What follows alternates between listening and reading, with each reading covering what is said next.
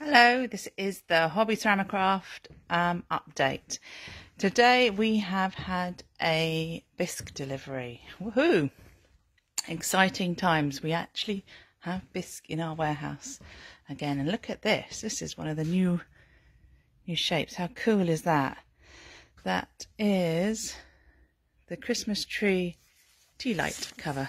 So it is this side we are waiting for the website to do its thing this evening and update, and then we will go home. Um, but it should be live on the website very, very, very, very soon. But yeah, just a little Christmas tree, and the idea is you put one of those little, battery tea lights um, underneath it, and then the light comes out through the holes. You could put the plastic uh, Christmas tree lights in there if you so wish. So what else came in? Oh, there was all the uh, Christmas tree decorations, the CKD, you know, the classic, um, classic tree, um, the bauble. Oh, that looks amazing, don't I? Look gorgeous.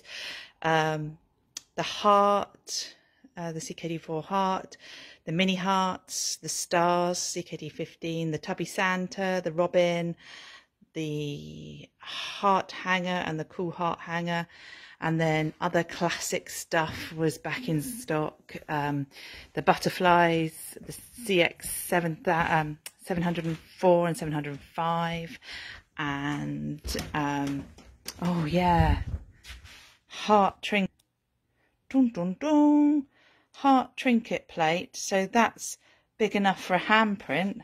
How exciting is that um, I didn't open that up, did I? I'm going to have to show you. Oh, I can't show you. Look at it on the website.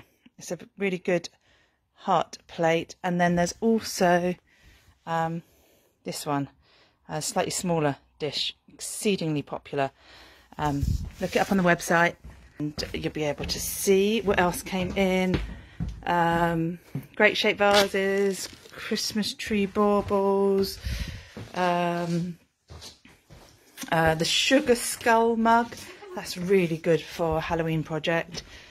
Um, oh, loads and loads and loads of stuff. Uh, I want to show you some new items which are over here. So the the letters that we were out of stock of, the B's, the D's, the G's, the J's, K's and N's, those are all back in stock. Um, these are new shapes here. So let's see these. So there is a little um, car and trailer. So that's a little caravan and it comes with a cute little car and they have stoppers in them. So we have two holes in this one and three holes in that. What fun is that? And then there is the Zen lantern, six in a case, and it looks like this and it's finished like that. And just like that. I think that's quite nice. Again a tea light piece um, little battery tea light in there. Might even be able to get a real life candle in there but you just got to be you've just got to give um, a, a, message of caution to your customers when you're using naked flames because the item will get hot and it may then transfer the heat onto the surface. So that's why I would always recommend a battery um, light. But that's that lantern. And then this one. This is what we need. We've got the crumpled box. We've got the crumpled box. Look at that. How fun is that? that's what I need to do right now. We're all a little bit broken today. Everybody's gone home on a Friday feeling a little bit tired. But what a cute little um, yoga master namaste. Lama. Namaste. what fun. Anyway, hopefully the website's updated and all this stock is online. Uh, we have an air freight paint order coming in on um, sometime early next week. And um, our paint delivery, yes, you would believe it, it has got delayed again. It's now scheduled to be with us on the 20th. I really should have played bingo with this container. Um, as due to dock on the 18th and is currently booked in on the 20th. Um, what else do I need to tell you? Um, it is Mystery Box on Monday, and we're going to do that through a Facebook Live.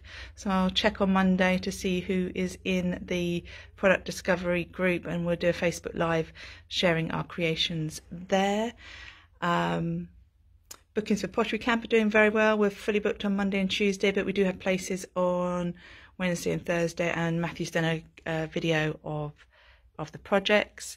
Um, Matthew might you might have seen Matthew on his soapbox over the weekend. Uh, Matthew and his friends made a um, Red Bull soapbox, um, and it was uh, it, he he was he was on the TV. Number thirty was his, and uh, uh, I'm not into it, but if you search Matthew Shepherd on YouTube, you'll find some videos that he's done about that. Anyway, I need to go home. Have a lovely weekend, folks, and uh, hope to see you soon. Take care.